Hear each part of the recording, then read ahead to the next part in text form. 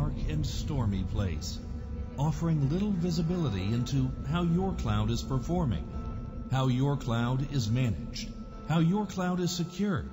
The cloud can be a place where customers are forced to follow and not lead.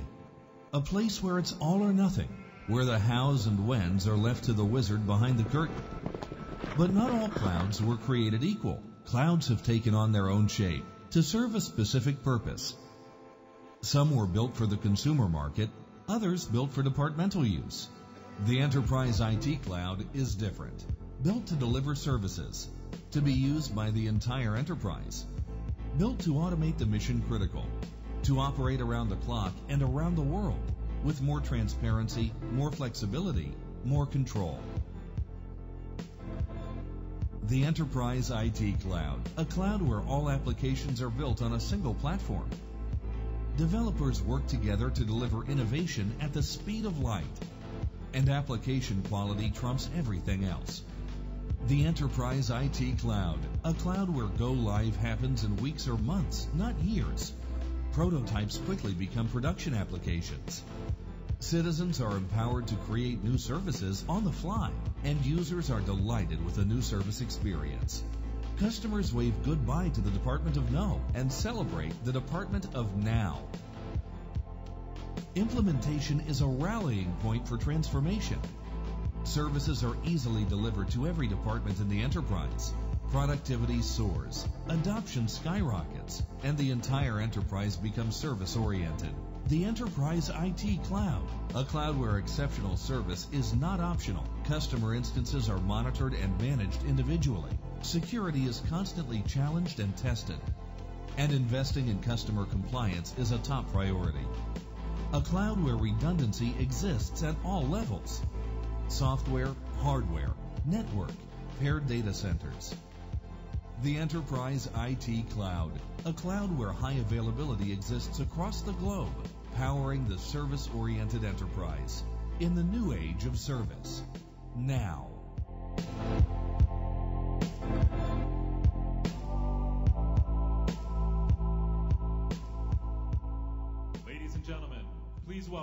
ServiceNow Senior Vice President of Engineering and Cloud Operations, Dan McGee. Good morning. All right. Lots of happy faces this morning. Great to see you all. Welcome to the last day of knowledge. Thrilled you're here. How about that party last night? How many went to the party? Wow. What an unbelievable venue. And you know, the weather could not have been more spectacular. A great view of both bridges. Uh, everybody appreciate the extra hour of sleep we all got uh, this morning? Yes. I know I did. So that video you just saw was actually shot at ServiceNow, not the cows. But all those people you saw, that's actually what it looks like for real uh, back at uh, home base where we where we invent all this stuff. And uh, they actually do move that fast, right? We give a lot of caffeine to our engineers, and uh, that's how we get so much done. So this is the third installment of the trilogy of keynotes that you've been hearing this week. So on Tuesday morning, right, you heard Frank talk about extending the context for where ServiceNow is used throughout the enterprise. Then yesterday, Frank hit, or sorry, Fred hit on continuing to really empower the application creators. It's really a big, important focus for us to continue to do what Fred started with, which was make it really easy to create and deploy applications. What I'm going to talk to you about today is actually operating the cloud, and specifically operating the ServiceNow cloud using ServiceNow. We're really in the unusual position of actually inventing the very thing that we use to run our own business. So we're hoping that we're going to show you some things that maybe you haven't seen before, maybe a few things that will inspire you to try something that maybe you've always wanted to do but you didn't realize you could do with the product. And also for maybe some of the folks out there, we'll answer the question, you know, is ServiceNow's cloud really ready for our business? This is basically what we're going to go through today. We're going to talk a bit about some facts and figures about our size, our scale, where we're deployed, what we got going on. We're going to talk about security. That's clearly on everybody's mind. Availability, I'm going to be a little bit controversial, so I think you'll enjoy that. And then we're going to wrap up the end of it with a really nice demo that uh, also is going to be somewhat unique, and I think that'll be quite fun for you all to see. All right. I'm going to start here, though. If there's one thing everybody remembers from the chat today, it's this. Not all clouds are created equal. What do I mean by that? Well, I sort of sort of got on this slide three flavors of of software as a service or clouds out there, and let me sort of compare and contrast them a little bit. We're going to start at the bottom with the consumer-based clouds. So, what's primarily on the mind of those folks that are really trying to address the consumer segment? What they're really trying to do is get more eyeballs to their property right? Their revenue is fundamentally driven on a revenue model. And so they're investing heavily in software features and other kinds of things that will drive and get more of us to try to go to their sites. After all, you know, most all of us are actually using their properties for free. So what goes along with that is things like reliability and availability, not necessarily top of mind. They're not necessarily really bad at that, but their design point is not really at the enterprise level in terms of reliability and availability for their sites. Move it up a notch to the, the departmental clouds. Now, these folks, many of them today are trying to extend their applicability into other parts of the enterprise, but they fundamentally started with a very narrow focus. Salesforce on sales, NetSuite on finance, so forth and so on. And as a result, if you look at things like maintenance windows, which we're going to talk about later, these folks actually take their systems down on a very periodic basis to go do maintenance. And that's an okay thing to do for the departmental clouds because on Saturday afternoons, the sales guys are playing golf anyway, right? They're not out there trying to book more deals. So that works for them. Again, it does not work for the enterprise. ServiceNow has a number of customers in the healthcare business where they actually use our product bedside with the patients. It's not going to work for us to take the system down on a weekly basis. I don't care what time of the week it is. So then you get into the enterprise, and this is where I sort of was making the point. The system has to be up. It has to be up basically like the power in the wall has to work. We can't afford to be taking the system down periodically to do maintenance or, or whatever. We have to find other ways to do things. The other thing that really differentiates us from some of the folks on the right side of that slide is again, ServiceNow is really the only platform up there that is targeted at people that don't necessarily have a software degree, right? trying to make it easy for the common man to actually create applications and get them deployed. So let's get into some of the facts and figures here. We're going to start with, uh, you know, how what's sort of the extent to uh, our infrastructure today. So we have grown quite rapidly. We have more than 800 engineers and technicians across our organization focused just on developing our product and operating our infrastructure. The data centers are uh, largely on the West Coast. We have a big presence in Seattle, Washington, uh, San Jose, California, down in Silicon Valley, and of course San Diego, where it all got started. And then in Europe, we have a very big presence in both London and Amsterdam. So strong talent in both of those regions. But perhaps more interesting to you is where we have our data centers. And I'm going to show you a slide later on that contrasts us with some of the other folks out there. We have 16 data centers worldwide. These are actually paired data centers in eight regions. And, you know, why did we do that? We didn't necessarily want to create more work for ourselves. Well, it's data sovereignty. Again, the enterprise class customers want to put very sensitive data up in the cloud. And in many cases, that data needs to reside in the region where they exist. So we have paired data centers in Switzerland. We have paid data centers in Australia, obviously paired data centers in the U.S., and so forth and so on. We've made a tremendous investment to put our iron where customers want their data to reside to deal with the data sovereignty topic, which is even bigger right now thanks to uh, the Edward Snowden news. So, building out all that infrastructure, and I'm going to show you some statistics on availability later. Getting better at availability doesn't come for free. Just in the last year or two, we've hired 250 people specific to the infrastructure side of our business, and we've spent more than $50 million in getting all this stuff together. Where are we in terms of user count? We're getting close to 12 million users.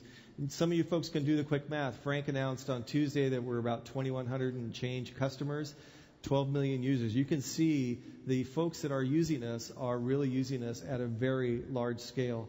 This number is going to come up a little bit later in my presentation, so hang on to it. 12, minute, 12 million users. Big number. Instances, right? So instances are basically the things that you guys provision and the things that you, uh, you know, it's sort of our, if we were a hardware manufacturer, this is the widget that we produce. We provision an instance that you all can use. We, uh, we're up to 12,000 instances, and you can see the number of instances that you all are purchasing and that we are deploying is growing at a very rapid clip. Just in Q1 of this year, we actually deployed 975 instances. And in the demo, you're going to see a little bit about how we do this Provision an instance at ServiceNow is actually done with ServiceNow orchestration. We have to do it that way because we have those 16 data centers around the world. We have a very involved CMDB that tracks all this stuff. Without automation, there is no way we could accurately and reliably provision that many instances in that short a period of time. But wait, there's more. Just at this show, for all the labs and all the uh, work events that you guys are going through, ServiceNow orchestration actually provisioned nearly 24,000 instances just over the course of this week, all administered by basically two people. Could have been one person, but somebody had to go home in the middle of the week. So again, a, a, something that we just could not do without ServiceNow orchestration. All right, more big numbers. So we are provisioning this stuff in our cloud. We are populating our own CMDB. We're up to about two and a half million CIs, two and a half million individual entries in our CMDB. Frank showed you on Tuesday, and you will see it again today in our demo, our ability to actually uh, reference a service. So in our case, it's one of your instances, all the way through all the network layers, all the hardware layers, all the way down to the lowest layer of the product. Why is that important? Well, if, if you call us and say, I'm having an issue, something isn't working, we can very quickly go through the tree in CMDB and figure out, hmm, here's where the problem is. And we can go the other direction too. Likewise, if, if we get a low level alert that say there's some very high CPU utilization on a particular server, we can go the other direction and see all of you that might be enforced. And where the money really meets the road with this is we're able to actually typically notify you and fix an issue before you even see it happen. How about change? Our change process has actually gone through uh, quite a metamorphosis. We didn't really have a very good change process maybe three or four years ago, where today we have an extremely well articulated change process.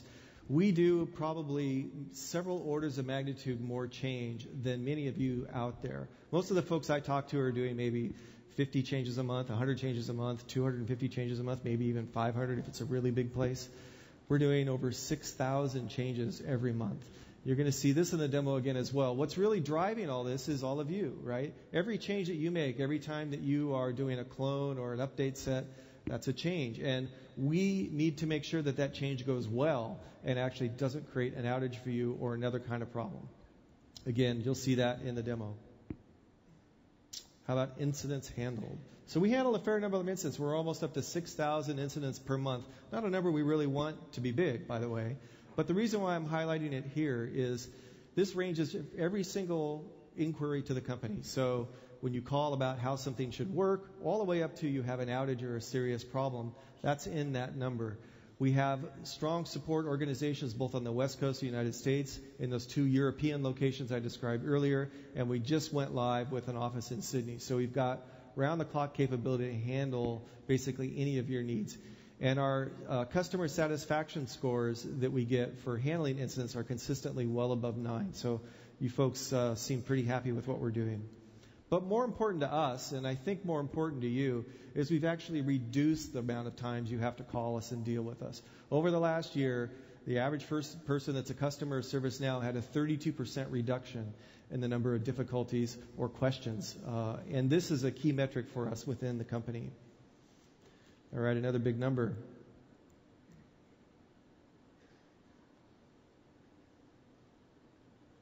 One more time. There we go. Great.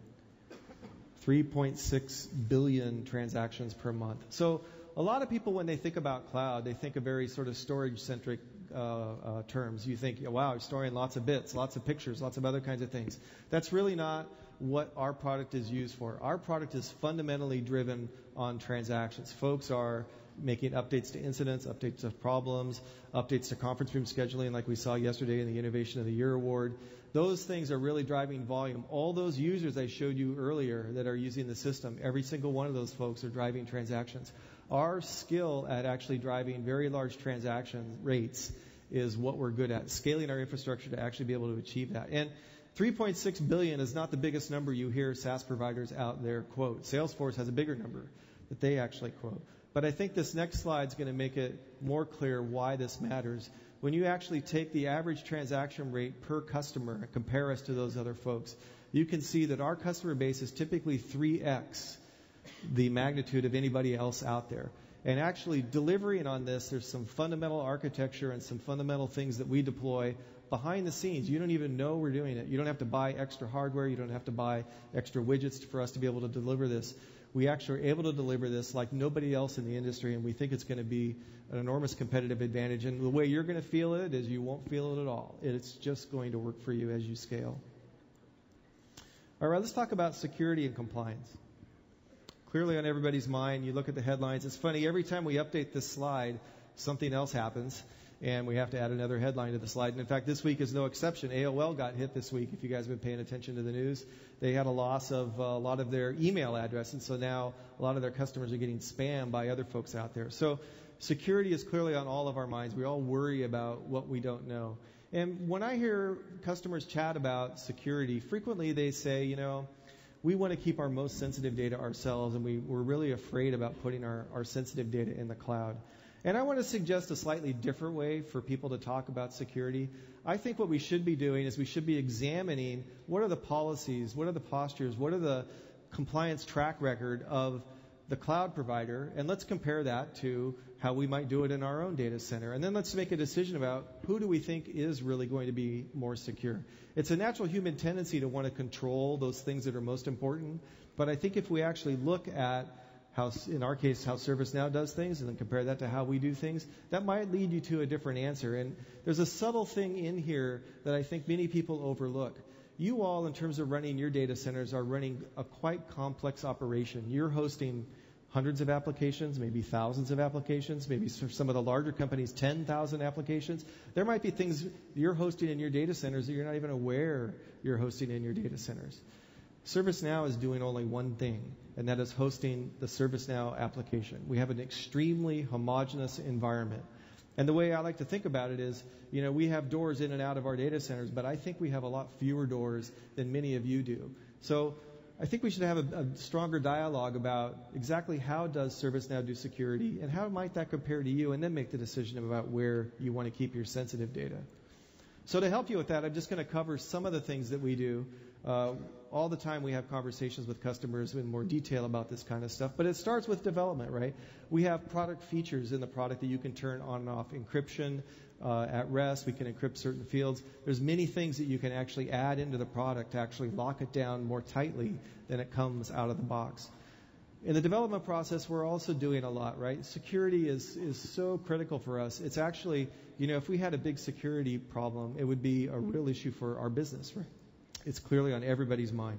So uh, we are doing uh, uh, screening on nightly builds uh, that we do every single day, and uh, static code analysis, many other things done on a nightly basis. When we're getting close to doing a release, now we start doing more sophisticated, longer running kinds of tests.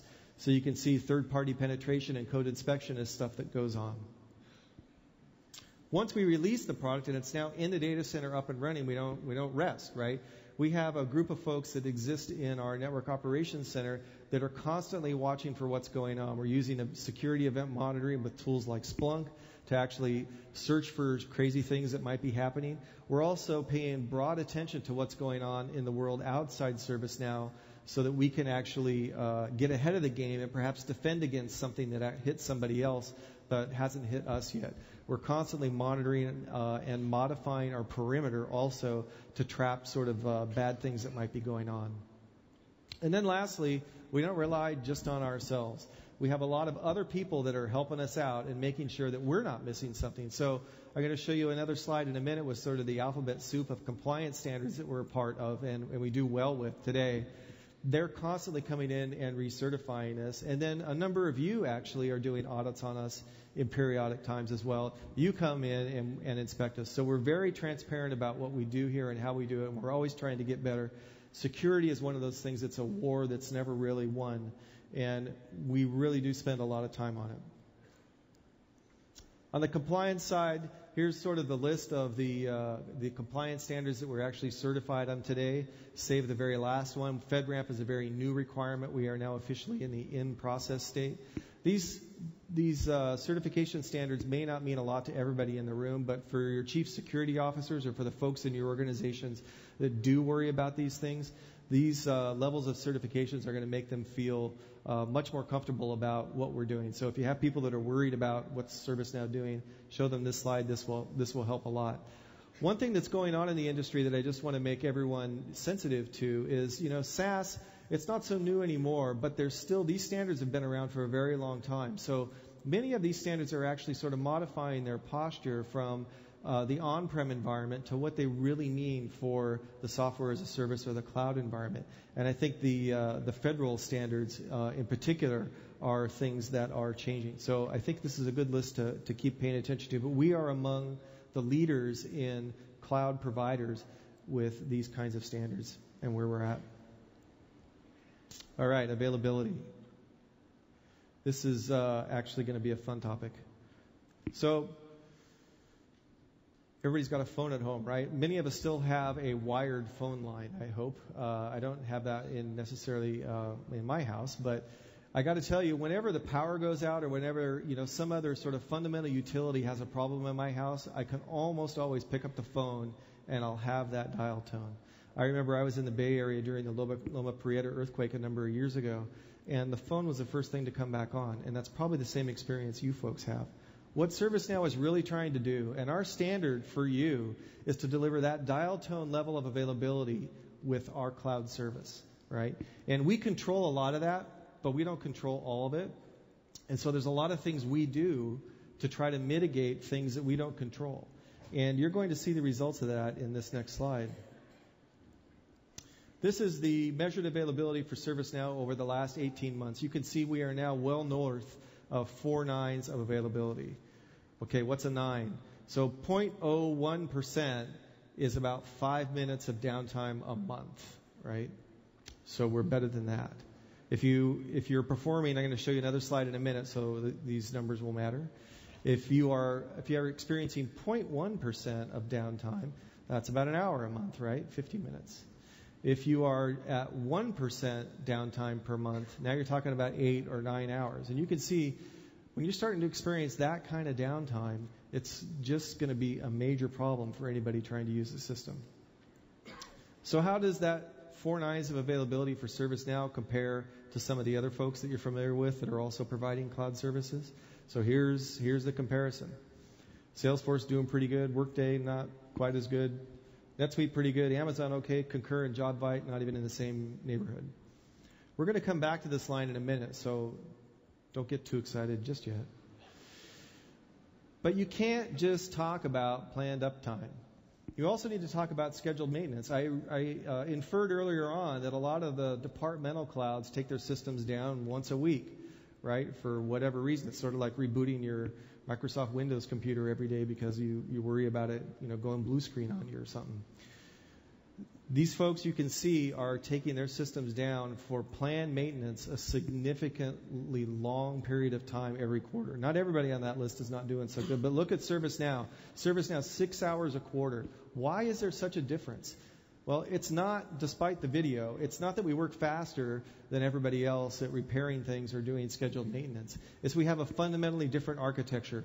Most of the folks on the right side of the screen are actually running a multi-tenant architecture. What that means is all of the customers are actually sharing a common database. So it's very difficult for them to actually uh, fail over a one customer and operate on that one customer. Uh, they have to fail over everybody, which is a very scary, scary uh, uh thing to do. ServiceNow is a single instance architecture. So every one of you is running on an individual instance of ServiceNow. So we routinely will fail you over to the backup side in order to do maintenance on the primary side. And so that six hours is basically made up of the time to do the failover, which is typically a couple of minutes these days. We do it frequently, and we're actually quite good at it. And that's going to come up again in a minute. So when you add that uptime number to the planned maintenance per quarter, now you're starting to get a sense of what the real availability is. We're not all the way to real availability yet. But you can see these numbers now are starting to differentiate themselves a lot more. And if, again, you're in a hospital, you're in a mission critical situation, or even if you're not mission critical, but you know your customers are going to get mad if they can't get into the system, these numbers are starting to get very significant. Recovery time. So I talked about failover a minute ago. Recovery time is how long it takes to actually get you back up after an outage, after something broke or something goes wrong. So we target two hours. In reality, I mentioned we're actually doing this in minutes these days. Um, most often, much, much faster. Uh, the big difference is when we have a problem that we think is going to be resolved by a failover, we will fail you over quickly and very fast. We don't spend time trying to figure out necessarily what was the fundamental thing that broke and try to repair what broke. We will fail you over and then go work on failing on figuring out what broke after the fact on our dime, not on your dime, right?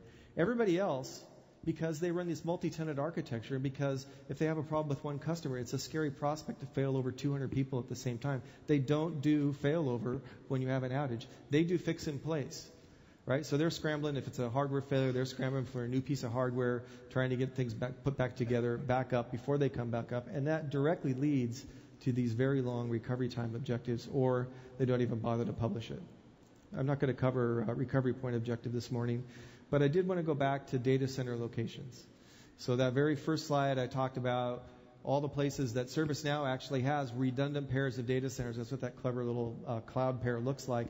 You can see many of the other folks on this uh, chart do have redundant data centers in the U.S., but only Workday has a redundant data center in Europe, and nobody has redundant data centers anywhere else. Right? So there's a reason why Salesforce, for example, doesn't do a lot of business in Europe, and this is exactly why. They don't have a data center there. They're planning on putting one there this year, been saying that for a while too. Actually, could you go back a slide for me, please? I clicked too soon. Thank you. So back to that top slide. Uptime, right? Average uptime. These are the numbers you hear us all talk about. I just did it, right? Beat my chest. Big number, four nines. Really cool, right? Now I'm going to tell you that number isn't very meaningful. Is this system up? Look at right there. There was a problem displaying your upcoming trips. Right? So this we actually use Concur at ServiceNow to do our travel. Sorry for picking on Concur. But Concur's uptime is going to register their system is up. Why? The way uptime is actually calculated for every single one of these vendors is they try to ping the instance. If the instance replies, it's up. Doesn't say anything about whether it's useful or not. And in this case, it's clearly not useful. So there's nothing more annoying to you, for that matter, me, when we're claiming the systems are up and working fine, but they're not usable and they don't work for you. It kind of defeats the whole purpose of measuring uptime. Like, who are we trying to make feel better here? So ServiceNow has actually launched just in the last month, and it's on every customer of ours instance today, something you're going to see in a minute. And let me build into it. So this entire space here actually reflects the total uptime. So it's 100% uptime. Nothing has been down. Everything's great. Everything's happy. Okay, one thing that actually can lead to downtime is the thing that's covered by the ping. If you have a hardware failure, you have an in-house network failure so you can't actually make the ping work, yeah, that's downtime. Okay? So that was one category. But there's more. That concur slide I just showed you Probably a software bug in Concur. Maybe a performance issue with the horsepower they've got deployed on that particular instance. I don't know what the problem was, but yeah, I could ping it because it gave me the technical difficulty slide, but I couldn't use it. There was something wrong in their architecture, in their software, in their release, whatever. Took the system down. It was not usable. But you know what? There's things outside the SaaS provider's control too. There could be third party issues. So the best example of this is sort of internet cloud issues, right? Uh, we've seen situations where uh, our network is working fine, your network is working fine, but there's somebody else in our neighborhood that's getting perhaps a denial of service attack, and there's a tremendous amount of traffic on the line that you use out of your plant that happens to find its way into one of our data centers, and that could cause a slow performance issue. Another more uh, less esoteric version of this is Netflix Prime Time. So it so happens that I, I read a report the other day in uh, the northeast uh, part of this of the United States. During prime time hours, Netflix can occupy as much as 25 or 30 percent of the entire network bandwidth out there. Um, so outside the scope of what we're going to chat about today, ServiceNow is actually doing some very interesting things to mitigate those exact issues. just general internet clogs that have nothing to do with you guys or nothing to do with us, but they fundamentally impact your service. Happy to chat with folks about that after the after the chat today. And lastly, there are things you guys can do that could actually create problems. A very common one that happens is, you know, we authenticate your users using your LDAP, for example, right? And so when one of your users logs into our system, we're checking back through into your network through your firewall to your authentication machines and validating their credentials, and then we let them in. That's that's how it works. Well, if some of your networking team actually changes your firewalls around or do things so we can't access your LDAP servers, your customers aren't going to be able to log in. So customer authentication and customer sort of induced problems with authentication is actually not an uncommon occurrence. Also, you got to remember this is a development tool, right? So, right, we've all written infinite loops in our days, and you can still do that with our product. You can actually invent things that will cause things not to work so well, which is why testing is important. So the point of all this is your real availability is made up of things far more than just that stupid ping, right? So, what are we doing about it? Well, we're talking about it here, and now we've introduced, this was asked for last year, a real availability dashboard. So on every customer's homepage today, you can go here and you're going to see all of your instances. So in this case, this particular customer has two production instances. Those are the ones that have high availability assigned to them, and three non-production instances.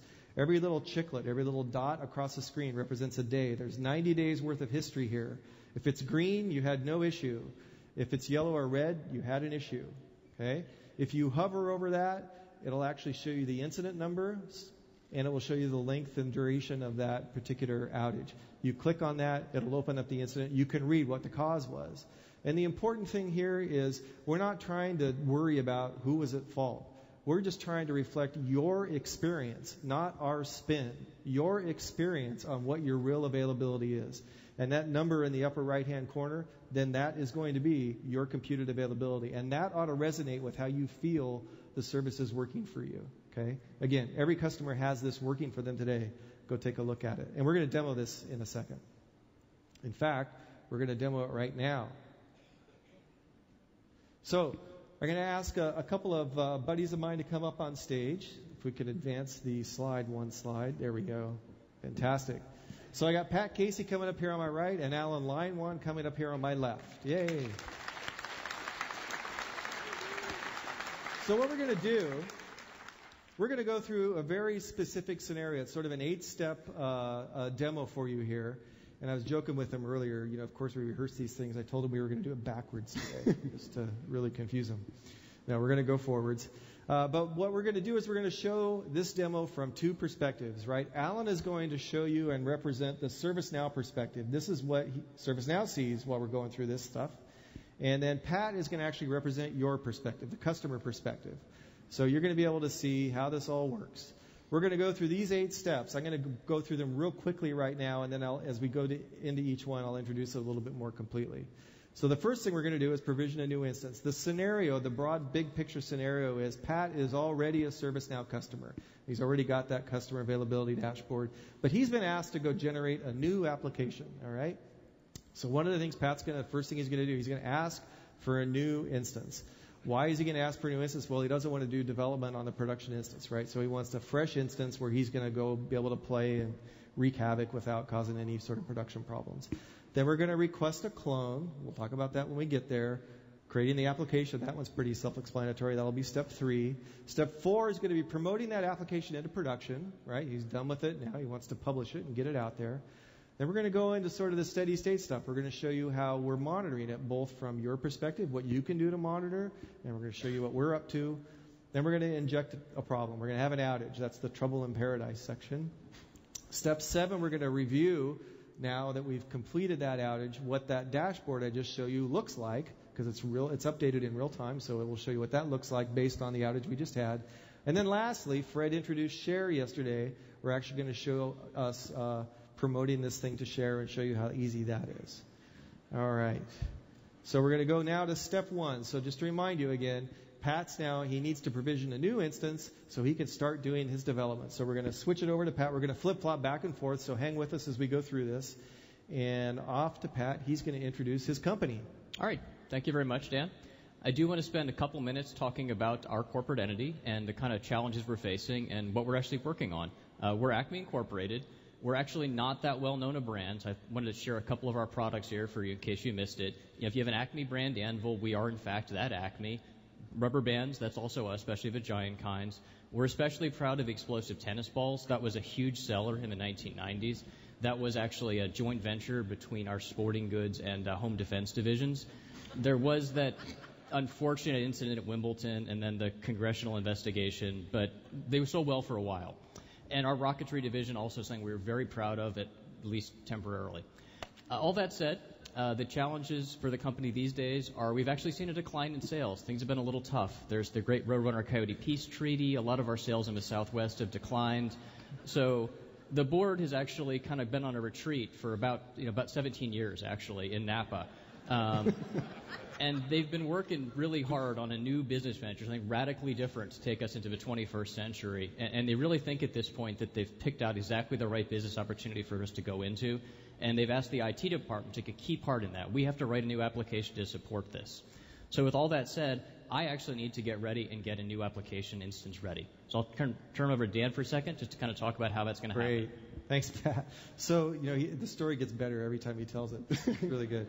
Uh, all right. So normally, what happens when an instance gets provisioned, if you're if you're a current customer, is there's a sales transaction that takes place. We're you know we didn't want to let any sales guys up on the stage, so we're just going to imagine that happen. Alan's now going to say, I've got the order for a new instance, and he's going to show you actually a little bit behind the scenes of how that happens and gets provisioned. So, Alan. Thanks, Dan.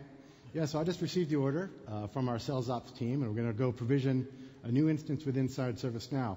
It might not surprise you too much to learn we use ServiceNow Service Catalog to do that. So here's the service catalog that we actually use internally. You can see there's a bunch of things around here for us people that like three-letter acronyms like DNS and DHCP. I guess that's four letters, and other things that we actually do inside of our infrastructure. But you'll see that right here we actually can provision a new instance. So I'm going to go into that screen.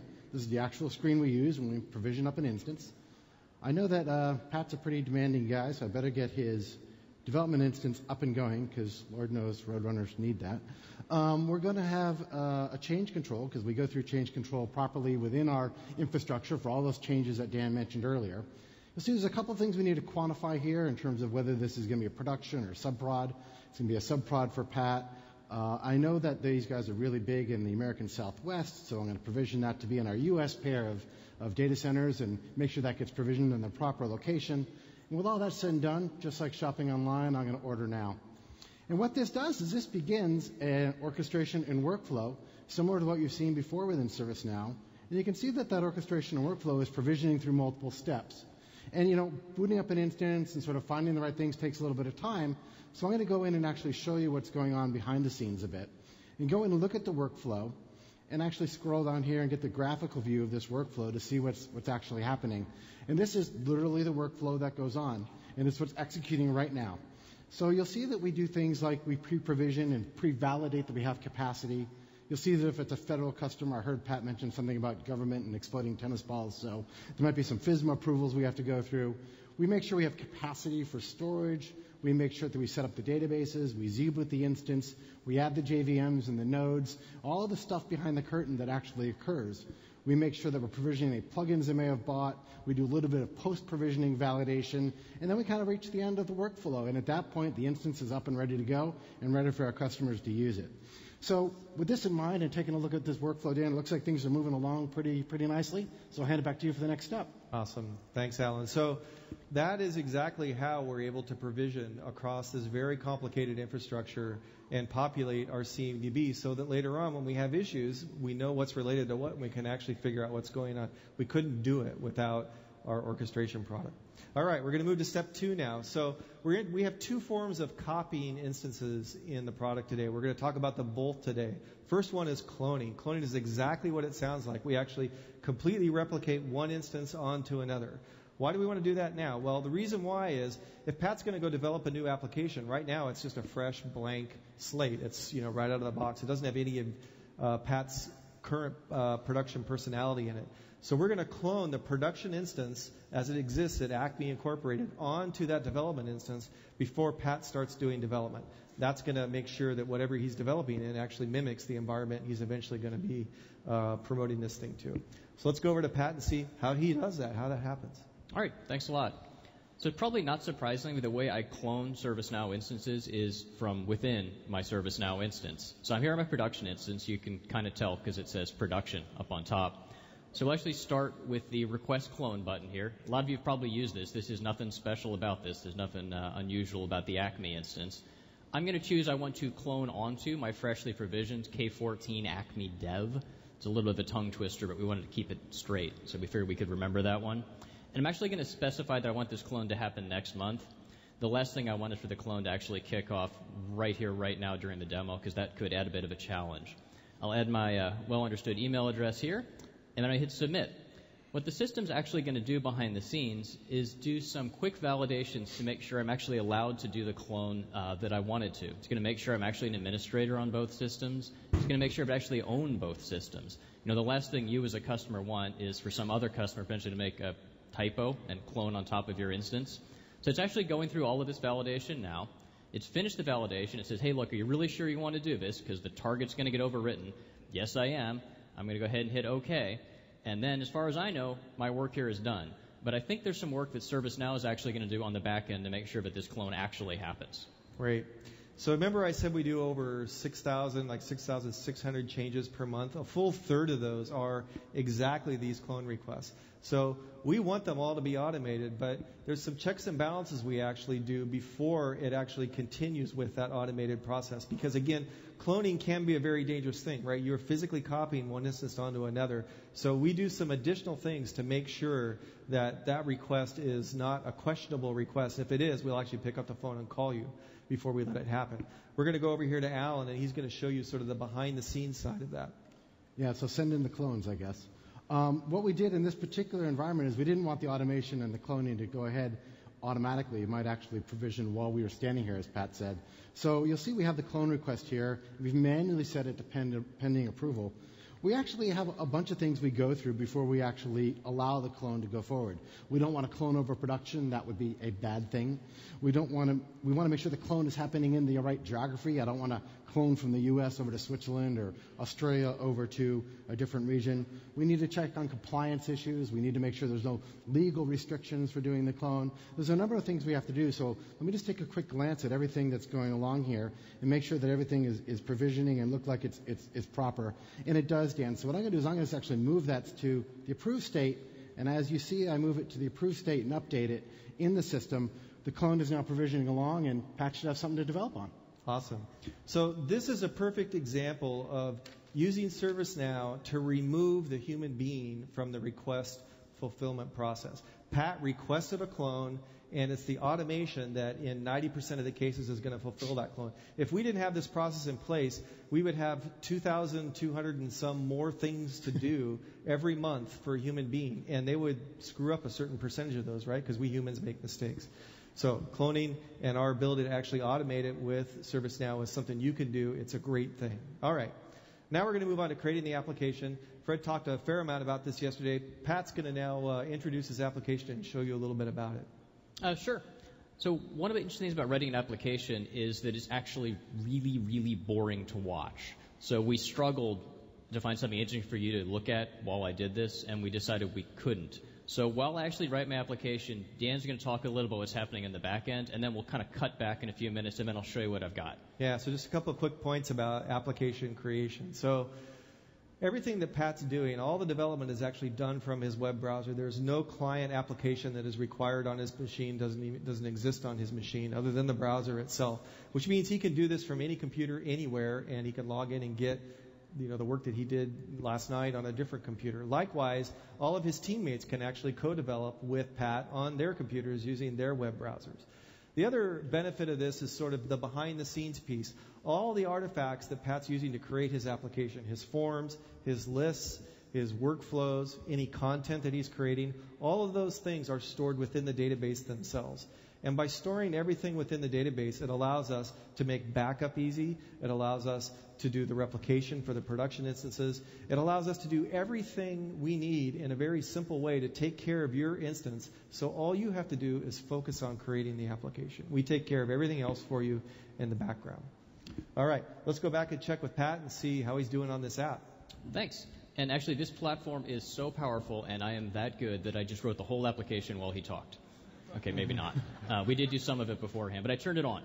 Um, so at this point, I'll kind of tell you what we actually wrote in this case, and we really do think this is the new um, application for the future. Our new business venture, Acme Incorporated, we're going into llama farming.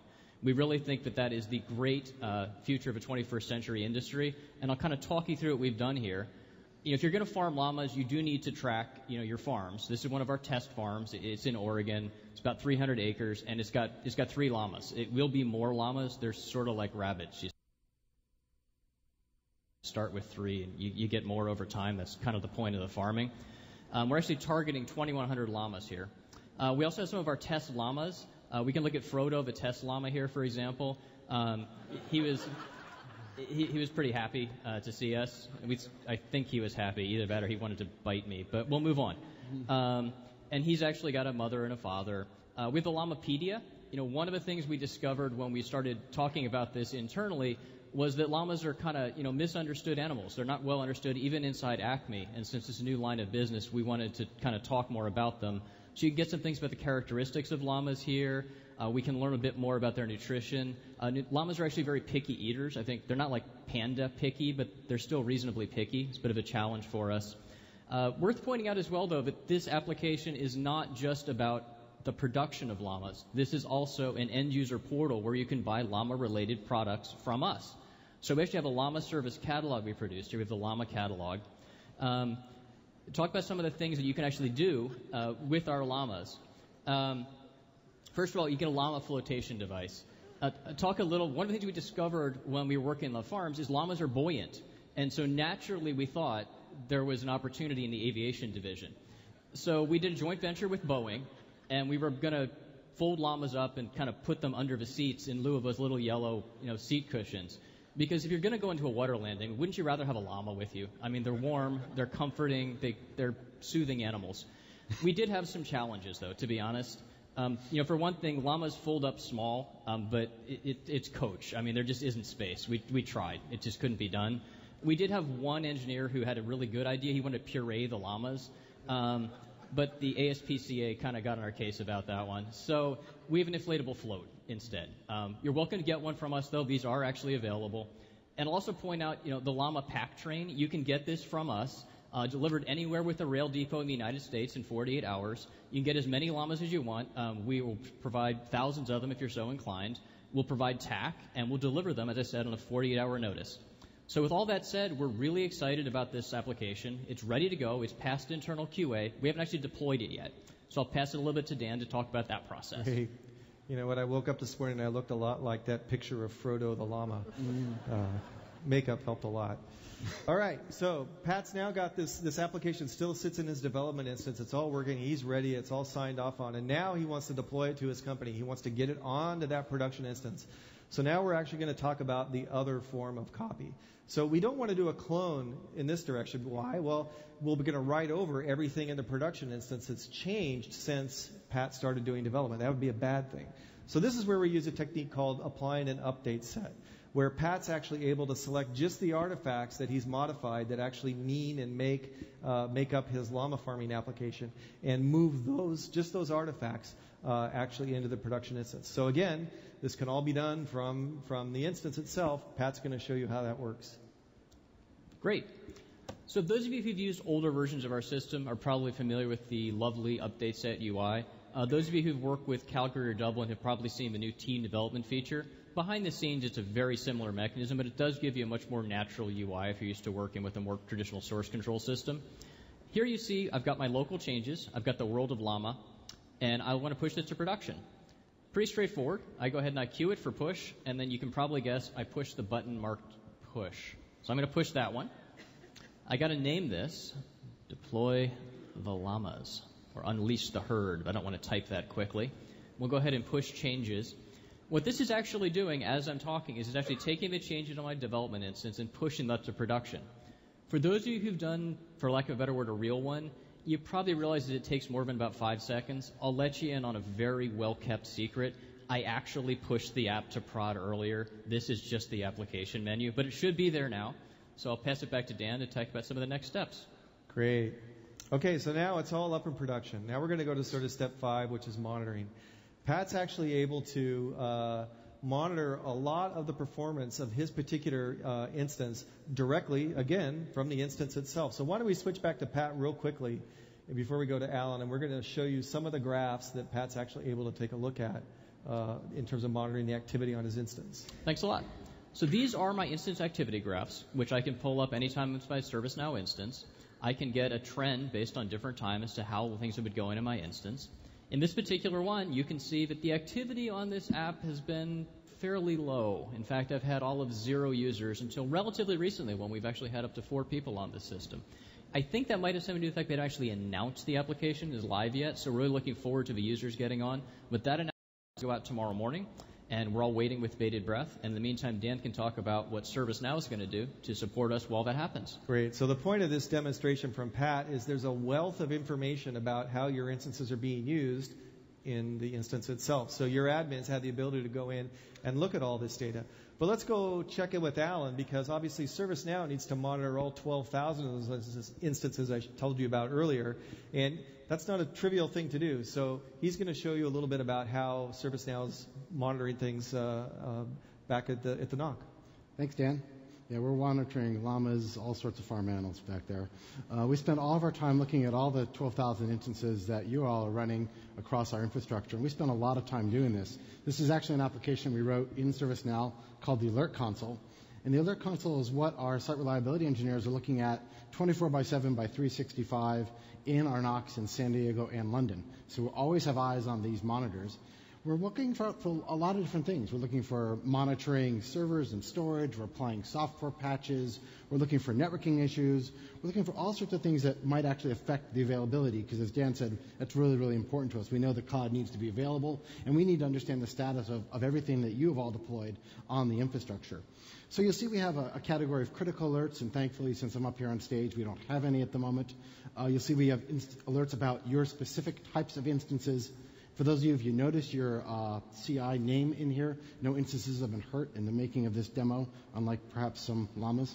And you'll see that there's some performance issues. We have a CPU problem that came in this morning, and a couple other things. We're looking at backups that might have failed that need to be rerun. Looks like we got a chassis that's got a voltage problem, a little bit of system temperature stuff. We're, we're doing thousands of these checks every minute across the entire infrastructure against all the different data centers, all 16 of them, and we want to make sure that, that everything's doing the right thing. And, you know, Dan, it looks like all the llamas are flying through the cloud just fine right now. So I'll hand it back to you. Awesome. All right. So you just heard it. Alan just said everything's working fine, right? so what always happens after somebody says that, right? So we're now going to simulate an outage. So something's gone wrong, and we're going to show you what that experience is for both us, how we use our tool to sort of figure out and fix. And we're also going to show you what it's going to look like from your side. So, Alan? Yeah, right back in the hot seat. So you'll see that the alert console has changed a little bit now. And this is actually what happens when something goes bump in the night for us. We get these alerts, we call them fire alerts. And you'll see that I have a fire alert here showing that a database server is unavailable, and I have a bunch of instances unavailable. One of them, unfortunately, is Pat's. And since he's right there, um, I probably need to pay attention to this a little bit. You if we also open up an incident for the fact that this database server is down, I noticed just from the DNS name that this is on our Virginia data center. So we've already got techs on our way to Virginia to take a look at this particular machine to see what's going on with this database server. We've also starting to update the incident to sort of give some information back to the customers that potentially are affected here. And you know, Dan, I'd love to chat a little bit more, but give me a sec, okay? Great. So what Alan's doing basically is telling me to get lost. He's got work to do. And that's exactly what really happens. When there's an issue or an outage that's serious, we go into two very definitive workflows. The first one is the uh, folks trying to figure out what happened, right? And their focus is fundamentally trying to get you back up, the service restored as fast as we possibly can. And as I showed you a little bit earlier on in our statistics slides, we're actually doing that in minutes pretty good these days. But the other thing we need to do is kind of keep everybody informed. So there's another track called the communication track which gets launched. And what do we use for that? Right? We use incidents. So I get an email when there's an outage, Frank gets an email, Fred gets an outage, and you, the customer, is also going to get an email trying to explain what's going on and keeping you informed. So we're going to go check in with Pat and see what that experience looks like from the customer side. Pat? All right, thanks. Or I guess maybe not so much thanks, but I'd rather know than not know. So actually, I wasn't at my desk when this happened. I was actually at lunch, at Naturally. And I, so I didn't have access to a browser, but I did have my phone. So I got an email from ServiceNow, and the first thing I did was I take out my phone and I went to the Hi system and I can pop over and look, and you know, lo and behold, I do in fact have an instance instance incident, excuse me, that my instance is unavailable, and it looks like it's an active outage that's going on right now. I actually need to start calling some of my customers about this because they're going to start calling me relatively quickly. I want to get ahead of that game. So while I call my customers, why don't I talk to Dan a little bit about what ServiceNow is doing to get my Great. back up? So we're going to now go check in with Alan. So You've been informed. You, you, know, we still haven't figured out what's going on, but you know it's something's going on. We're going to now check in with Alan and see how is he figuring out what the problem is, and more importantly, how is he going to restore service quickly. Alan? Yeah, thanks, Dan. So I've been talking to the guys over in the Virginia data center, and it looks like that, you know, it looks like we have a RAID controller. So basically, we have a RAID controller failure on this database, and I'm really suspicious because I see that have a database failed, and I have all these instances failed at roughly the same time. So what I'm going to do is I'm going to use the power of our CMDB and I'm going to dig in a bit to this particular configuration item. When I can dig into this particular configuration item, you'll see we have the impact view. And the impact view shows the impact of this particular database in the services that are then affected and the customers that are then affected. You'll sort of see it, it jiggles around a little bit. And you'll see right over here, as I zoom in, I see that Pat's K14 Acme instance is actually red. Acme as a company is up because his, his development instance is probably up, but his production instance is down. And this, this view gives me a real good feeling of that this is the database that actually is affecting these customers. And because of that, I need, I need to check a few more things here to look at what's actually going on. But I really think what we want to be able to do now is we want to fail them over, use those pair data centers and fail off this database and move those instances onto the data center pair. So with that, I'm going to go ahead and invoke the failover button using ServiceNow workflow and orchestration. I'm going to watch this impact view as this failover occurs. And while this is going on, Dan, why don't I turn it back to you and I'm just going to make sure the failover works right. Great. So it's really that simple in terms of how a failover occurs in these emergency situations. There's certain checks and balances we do, but not nearly as many as we do for a planned maintenance kind of activity. And if we watch this long enough, you'd see those uh, red circles begin to turn green again. But the other thing we can do is just check back with Pat and see how's the instance look. Is it actually working and back up for him? Pat? Great. So actually, I can tell from my phone, which I've kind of been, honestly, I've been clicking it like a rabid badger, but it, it stopped. I can see now. We actually, ServiceNow has told me the uh, update has happened. I can see on my incident history that Alan told me there was an outage. He told me the instance was down. About nine minutes later, he indicated there was a failover in progress, but didn't give me an ETA. And then about four minutes after that, it says the failover actually completed. Let me pop back to my instance very quickly here. Wrong one. Wrong one. This is why I'm not a professional demo person. It does look like it's up again. Let me see if I can see some llamas. Yeah, I think we're looking good. I have my llama farming back. So I need to start calling some of my customers, let them know the system's back up and available. And while I do that, Dan will talk a little about some options I have. Great. So it's usually that simple, right? Failover, it's usually that simple uh, diagnosing issues. Sometimes, if we think the issue is a network issue at your facility, we need to get on the phone with your networking team. Things can take a little bit longer, but it really uh, it really goes well uh, the vast majority of the time. All right, so now we just had an outage. Let's go back and review that customer dashboard that shows what your real availability is and how that event we just had is reflected on that dashboard. Let's check back with Pat. Thanks. So I've had a few minutes to kind of relax. I've talked to my customers. The instance is back up. I actually finished my lunch. But I do kind of want to pop over to my availability dashboard here and get a look at what's been going on. I've actually had kind of 90 days or 89 days of perfect availability here. But I do see that, you know, today I do have an outage against my instance. It lasted about 13 minutes, which is actually pretty good. I wasn't sure if it was, you know, 10 or 17. It probably felt like a lot longer for me, but it's good to have the exact ups and down times. If I wanted to drill through directly in there, I could. I can also see it over here on the open issues side of the house. I do actually have that incident. Is still open. I assume in ServiceNow is still working on a root cause for me. Um, but I'm back up at this point, and I've got visibility into what happened. So I'm in a pretty good state right now. Great. So just to sort of hit the hammer one more time on that, this is going to reflect your experience with the instance. So if you open a P1 for whatever reason, it's going to show up on this graph and it's going to affect that availability calculation. Okay, so now everything's back up and running. Uh, Pat's actually got a lot of internal activity, but he's been sort of out there sh- showing this to his colleagues in the industry, and he's getting a lot of requests for other people that want to build a llama farming app just like the one Pat did.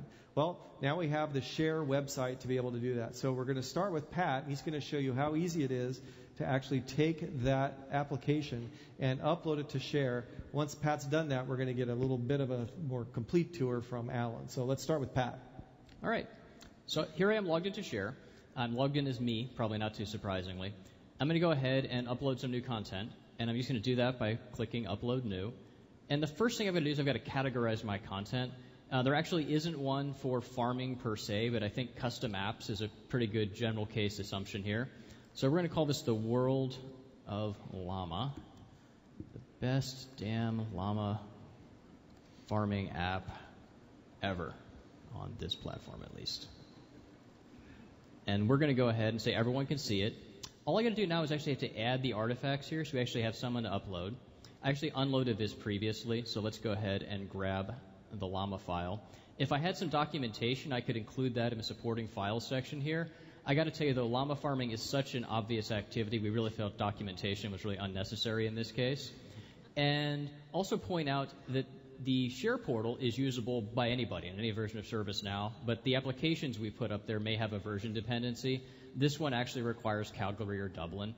And I'm going to go ahead and push the share now button. I'm actually not going to do this now because I did this backstage just to make it easier for you. It's worth pointing out that if you go to share right now, you can actually download your very own llama farming application. It's available and I have a bet going backstage. I actually want to see if I can get the top downloads for the next week. So please help me out on this one. Um, with that said, why don't uh, Dan pass it back over and you can talk a little more about there, Share. Is there a warranty with that application? Uh, caveat emptor. Yeah, okay. Great. So let's go check over with Alan. He's going to give you a bit more of a full demo now of Share, and uh, you'll see what it's all about. Alan? Yeah. Pat, you're going to lose that bet.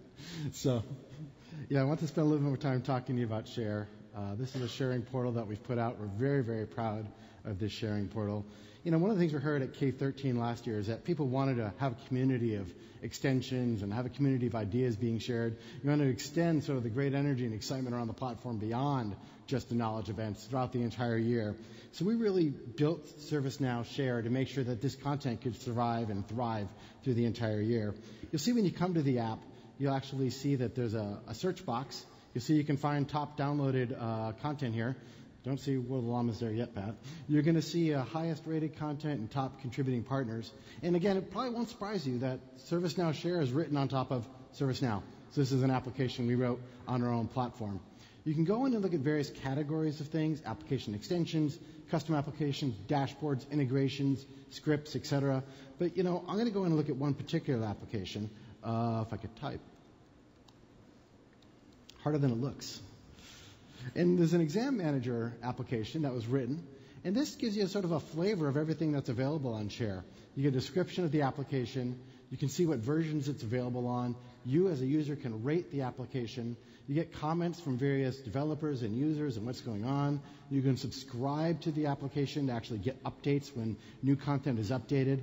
And because what you're actually doing is downloading an update set to your local machine and then importing that update set onto your instance, people generally want to know what's going on. So you can go into particular client scripts and you can actually look at the actual script that's actually going to be uploaded and sent to your instance when you do the import. And you know, we really think that this is a powerful tool, a powerful community building site, we think that it's going to be extensible and used for, for a long time coming. Matter of fact, we're, we're looking forward to seeing a lot of submissions from those of you here in the hall, and including the folks we saw in the hackathon on Tuesday. Great, good transition. So, this was just one scenario of how we actually use our product at, at our company. uh, obviously, we're just sort of scratching the surface. We'll extend the offer for anybody to come in and, and visit with us and ask us more questions about these particular applications, and maybe you'll see some other things we're doing that are kind of exciting too. Like I said, much of what we do here does find its way into our product uh, in in upcoming releases. So coming up next is actually the Hackathon Awards. Alan with a lot of uh, crazy folks were up really late Tuesday and uh, they did some really cool stuff. So Alan's going to walk us through the Hackathon Awards, and then I'm going to step back up and do a couple more things before we're done today. Alan? Thanks, Dan. So yeah, Tuesday night, that was a long, uh, fun event. We actually had about 25 teams of people creating custom applications on the platform. We gave them from about 3.30 in the afternoon to about midnight to create them. And then at midnight, we judged them and culled them down to the top five.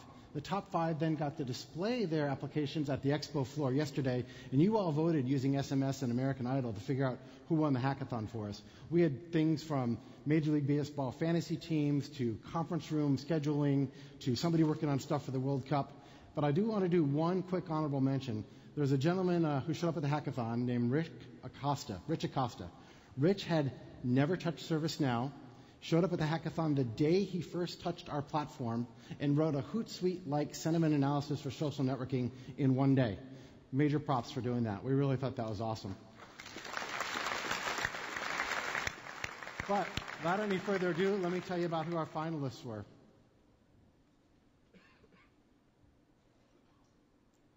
Here we go. Our five finalists we had a team that built an application for doing cable car management within San Francisco, kind of the San Francisco treat. We had a team that actually built a hub for schools and communities between teachers and students. We had a team that was actually building something to manage your social networking and social programs called Social Loop. We had a team that took me back to the 80s. You guys remember the adventure chat game? You're in a long, dark hallway, many twists and turns. They did that in our CHAP application. That was really, really cool. And we had a team that made password management. It was a really creative set of uh, applications. I hope everyone had a lot of fun at the hackathon, and I hope we see a lot of you at the hackathon next year.